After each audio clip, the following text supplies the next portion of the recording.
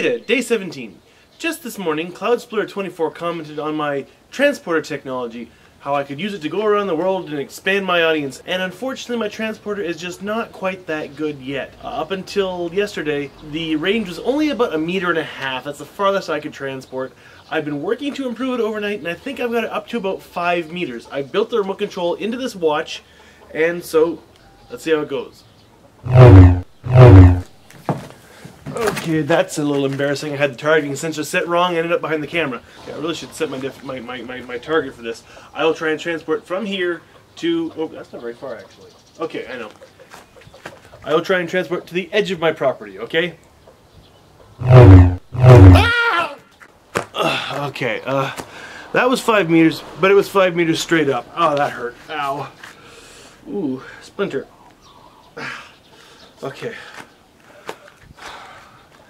I think I figured it out. I got the, the, the X and the Z axis is wrong. One more try.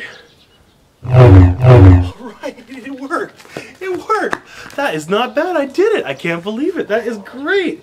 Alright. Well, that's still of no use really. I can only go five meters. You might be thinking five meters is very useful. You know, I could take it to uh, outside a bank and get within five meters of the inside of their vault and transport in and transport out too much metal and concrete. The interference, I just couldn't get through it. Yeah, I'm not quite up to Star Trek levels. I'll keep working on it, but, you know, for now, it's still really in the development stages, and I don't think it's going to be of much economic use in the near future. And, you know, if, if I keep screwing up the X and Y axis, it's just going to be broken bones for me, so I think I'm going to just keep using my transporter for Veda openings for now, okay? Okay.